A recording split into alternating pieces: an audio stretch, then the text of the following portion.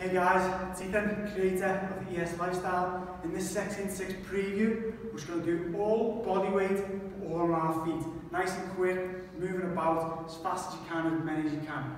Give it a go, don't forget to like and subscribe. Let's go.